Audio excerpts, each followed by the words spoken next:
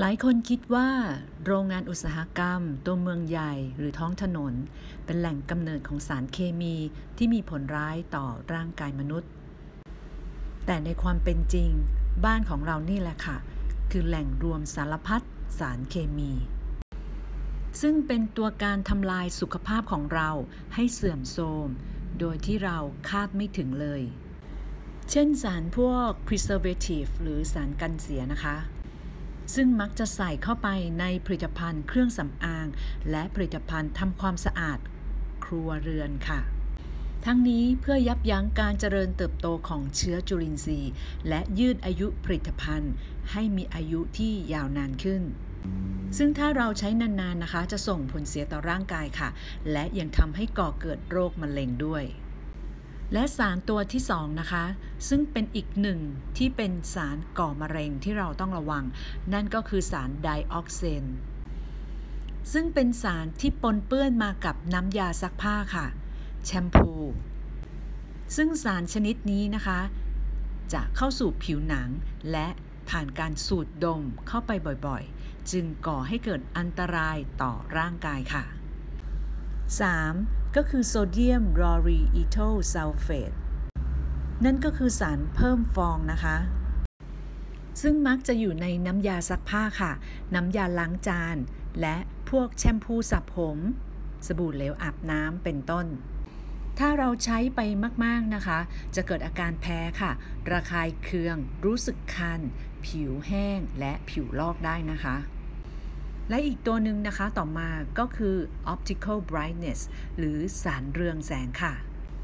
ซึ่งสารเรืองแสงนี้นะคะ อยู่ในน้ำยาซักผ้าค่ะ ซึ่งสามารถช่วยลวงตาทำให้ผ้าดูขาวสะอาดไม่หมอง ถ้าเราสัมผัสกับสารชนิดนี้บ่อยครั้งนะคะ จะเกิดอาการระคายเคืองต่อผิวหนังค่ะ และถ้าเราหายใจเข้าไปบ่อยๆ จะทำให้เราเจ็บคอ ไอ และหายใจติดขัดได้ นอกจากนี้ยังก่อเกิดโรคมะเร็งด้วยค่ะ และสารตัวต่อมานะคะ ที่เรามักจะมองข้าม นั่นก็คือน้ำหอมสังเคราะห์ค่ะ หรือที่เราเรียกว่า artificial perfume นะคะ ซึ่งจัดเป็นหนึ่งใน 5 อันดับแรกของสารก่อภูมิแพ้ค่ะ ซึ่งอยู่ในผลิตภัณฑ์แทบทุกชนิด โดยเฉพาะน้ำยาปรับผ้านุ่ม ถ้าเราใช้มากเกินและติดต่อกันนานๆ ก็จะก่อให้เกิดอาการระคายเคืองค่ะ ภูมิแพ้และอาจจะกลายเป็นมะเร็งได้ค่ะ มาถึงสารต่อมานะคะก็คือควอตหรือที่เรารู้จักกันดี นั่นก็คือสารเพิ่มความนุ่ม ฟู ซึ่งปกติแล้วนะคะ จะอยู่ในน้ำยาปรับผ้านุ่มค่ะซึ่งสารควอตตัวนี้นะคะเป็นน้ำมันค่ะ ซึ่งน้ำมันนี้จะยังคงติดทนอยู่ในเนื้อผ้าของเรา แม้ผ่านการซักน้ำและรีดแล้วก็ตามค่ะ แต่ที่ร้ายไปกว่านั้นคือน้ำมันนี้อาจซึมเข้าสู่ร่างกายทางผิวหนัง หรือการสูดดมค่ะ ก่อให้เกิดอาการระคายเคือง และอาจก่อให้เกิดมะเร็งค่ะจริง ๆ แล้วในปัจจุบันนี้นะคะ มีงานวิจัยมากมายว่าเราสามารถใช้สารสกัดจากธรรมชาติ เช่น มะพร้าว สับปะรด ข้าวโพด ถั่วเหลืองอ้อยนะคะ มาใช้ในการทำความสะอาดได้แทนสารเคมีค่ะ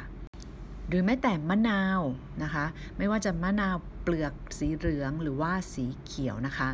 มะกรูดเบอร์กามอตนะคะเกรปฟรุตพืชเหล่านี้นะคะสามารถช่วยในการคลีนซิ่งหรือการทำความสะอาดได้ค่ะ แต่เราต้องมั่นใจนะคะว่าพืชที่เรานำมาใช้เป็นส่วนประกอบในผลิตภัณฑ์ที่เราใช้นี้ ปลอดสารเคมีค่ะ ต้องเป็นผลิตภัณฑ์ที่น่าเชื่อถือนะคะ ทางศูนย์ออร์แกนิกของเราจึงได้นำผลิตภัณฑ์มากมายนะคะ ซึ่งล้วนแต่เป็นผลิตภัณฑ์ออร์แกนิก ไม่ว่าจะเป็นครีมบำรุง ครีมทำความสะอาด ผิวหน้า น้ำยาล้างจาน แชมพู ผงซักฟอก ที่เป็นออร์แกนิกค่ะ ปราศจากสารอันตราย 7 ชนิด จำหน่ายในราคาที่ทุกคนจับต้องได้ค่ะ ผู้ที่สนใจนะคะสามารถติดต่อกับตัวแทนของเราทั่วประเทศค่ะ นอกจากนี้เรายังรับตัวแทนกระจายสินค้าออร์แกนิกดีๆ ออกสู่ประชาชนนะคะ สนใจสามารถติดต่อที่ตัวแทนของเราได้เลยค่ะ สมัครฟรีนะคะ อย่างตัวแรกนะคะก็คือน้ำยาล้างจานออร์แกนิกค่ะ ซึ่งน้ำยาล้างจานนะคะ ปกติแล้วจะแบ่งออกเป็น3เลเวลหรือ 3 ระดับด้วยกันนะคะเลเวลที่ 3 คือระดับต่ำสุด นั่นก็คือเป็นน้ำยาล้างจานที่ปกติจะใช้ใน Factory หรือว่าในโรงงานค่ะ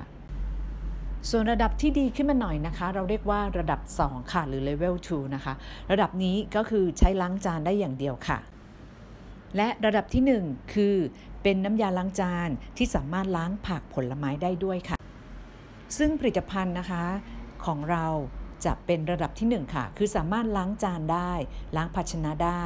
ล้างคราบมันคราบฝังแน่นได้นะคะ และยังสามารถล้างผักผลไม้ ยาฆ่ามาแมลงออกได้ด้วยค่ะ ด้วยสารสกัดจากธรรมชาติและปราศจากสารอันตราย 7 ชนิดค่ะ จึงสามารถใช้ได้นะคะกับทั้งเด็กและผู้ใหญ่ น้ำยาล้างจานที่ราคาถูกมาก ๆ อาจมีส่วนผสมที่ไม่ได้มาตรฐานหรือมีอันตราย มาผสมเพื่อลดต้นทุนค่ะ ซึ่งสารเหล่านี้จะตกค้างทั้งบนมือและผิวของภาชนะ เมื่อเรานำภาชนะนี้มาใส่อาหารนะคะ สารเหล่านี้ก็จะถูกดูดซึมเข้าสู่ร่างกายของเรา และสะสมในร่างกายค่ะทำให้เกิดโรคร้ายตามมา เรามาดูตัวอย่างผลิตภัณฑ์นะคะของศูนย์ออร์แกนิกของเรา ก็คือ ตัวแรกค่ะ น้ำยาล้างจาน ที่เป็นมิตรต่อสิ่งแวดล้อมนะคะ และมีส่วนผสมจากธรรมชาติในการใช้ทำความสะอาดขวดนี้ค่ะ ถึงแม้จะเป็นส่วนผสมจากธรรมชาตินะคะ แต่พลังการล้างสุดยอดมากค่ะ สามารถฆ่าเชื้อแบคทีเรียได้ด้วยทำให้อาหารไม่บูดเน่าง่ายนะ ผลิตด้วยไบโอเทคโนโลยี มีความเข้มข้นสูงมากค่ะ ใช้แค่วันดรอปนะคะ หรือ 1 หยดเท่านั้นก็เห็นผลแล้ว ไม่จำเป็นต้องเจือจางในน้ำนะคะ หยดใส่สกอตไบรท์ของเราได้เลย ซึ่งมีปริมาณวิตามินซีนะคะ จากเลมอน หรือมะนาวนะคะ มากถึง 30 เท่าค่ะสำหรับวิธีการใช้นะคะ น้ำยาล้างจานผักผลไม้ของเรานะคะ ก็คือบีบเข้าไปแค่ 1 บีบนะคะ หลังจากนั้นคนค่ะ แล้วเราก็สามารถเอาผักผลไม้นะคะ แช่ได้เลย ตอนแช่นะคะไม่เกิน 5 นาทีนะคะ อย่าเกิน 5 นาทีนะคะ เมื่ออถึง เวลาที่กำหนดนะคะ คือจะแป๊บเดียวก็ได้นะคะ แต่อย่าเกิน5นาทีบางคนลืมอะคะ่ะ แล้วก็เอาไปล้างน้ำให้สะอาดนะคะ จะเห็นว่าสะอาดมากนะคะ เมื่อเราถูดูนะคะ ก็จะเห็นว่าสะอาดค่ะ ฟืดฟืดเลยนะคะ สามารถทานได้เลยค่ะและสำหรับการล้างจานก็เช่นเดียวกันนะคะ ใช้แค่1หยดพอค่ะ หยดใส่สกอตไบรท์นะคะ แล้วก็สามารถใช้ล้างจานได้ ซึ่ง วดใหญ่นี้นะคะ เทแค่หนึ่งหยดนะคะ หรือซื้อขวดเล็กๆ สีฟ้ามาเติมค่ะ บีบหนึ่ง